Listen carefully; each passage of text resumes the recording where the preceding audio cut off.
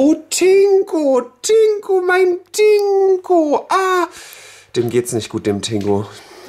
Der hat sich Assis in die Wohnung gelassen. Der hat sich so richtig schöne, so ein Coroni hat er sich reingeladen in die Wohnung und deswegen geht's ihm jetzt gar nicht gut. Also lass ihn lieber mal liebe Grüße da und gute Besserung auch von mir.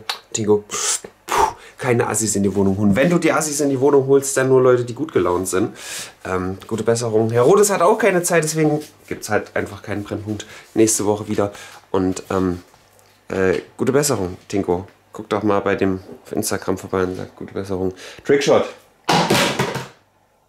Äh, das war ja hervorragend. Das war ja überragend, Alter. Also, Tinko, gute Besserung und äh, euch anderen bis nächste Woche, Brennpunkt. Na?